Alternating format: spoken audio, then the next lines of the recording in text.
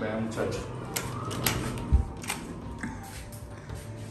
Bueno muchachos, otro día en el estudio. Aquí tenemos nuestra nuestro retrato de la Gerta. Como pueden ver tengo todo cerrado porque es que a esta hora entra el sol muy fuerte. Me le pega muy duro tanto a los equipos digitales como a, los lienzos y la verdad no me gusta. Prefiero evitar el sol directamente. Vamos a, a continuar con nuestro retrato. Como pueden ver aquí ya dejé alguna muestra de lo que va a ser el pelo. Me gusta hacer como las manchas generales y después ya darle un poco más de detalle para tener ya en mente cómo, cómo va a quedar al final.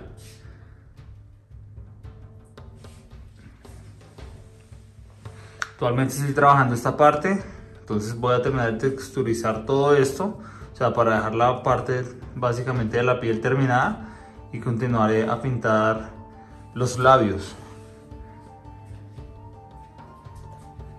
En este momento así está mi puesto de trabajo. La verdad está bastante eh, desordenado, digámoslo entre comillas, porque yo sé cómo están cada uno de los frascos.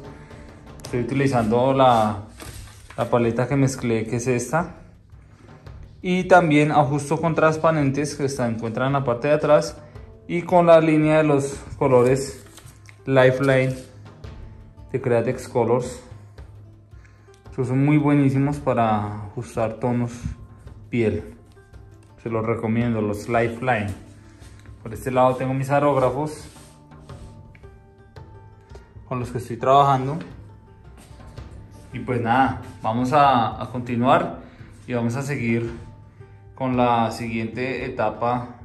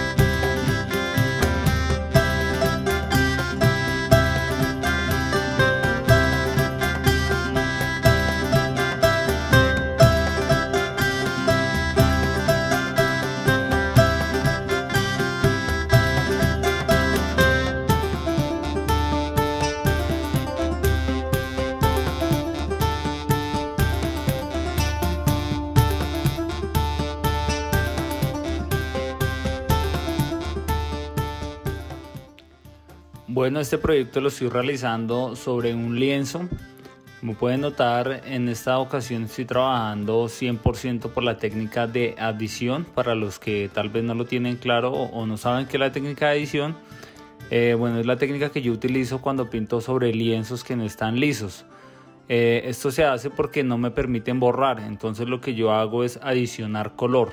Eh, la técnica que yo utilizo o la técnica que, que yo llamo es la técnica de adición de opacos. Con esto voy creando básicamente toda la estructura de la imagen y voy adicionando color por color, eh, normalmente empezando por los tonos más claros. Hay algo aquí muy fuerte y es eh, lo que llamamos el blue shift.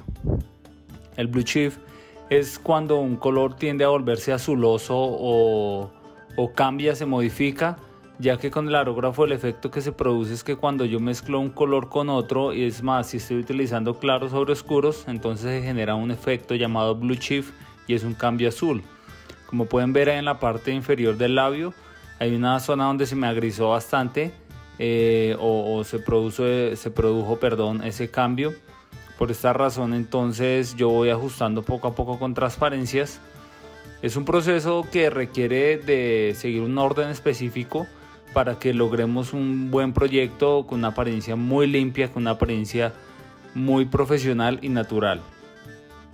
Recuerden muchachos que si desean aprender totalmente en tiempo real, pueden eh, ingresar a mi página en Patreon y ahí podrán encontrar este video tutorial completo y otros más que he subido. Eh, hay otro sobre este mismo proyecto que es pintando un ojo. Ese video se viene más adelante, se, se los compartiré. Entonces, si desean mejorar, si desean aprender, si desean llevar sus habilidades al próximo nivel, pueden acompañarme en Patreon con una suscripción de 10 dólares al mes lo cual les brindará material que de verdad les va a aportar muchísimo y los va a ayudar a, crecer de una manera enorme.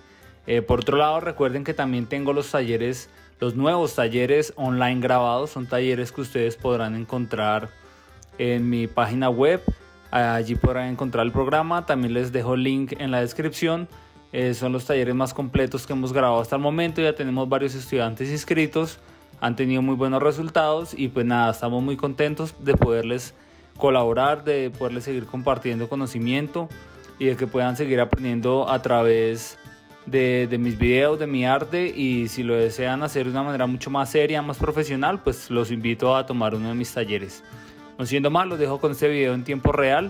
Espero lo disfruten. Si les gusta, no olviden dejarme su like, compartir el video con sus contactos Bendiciones, el Señor los bendiga y nos veremos en un próximo video.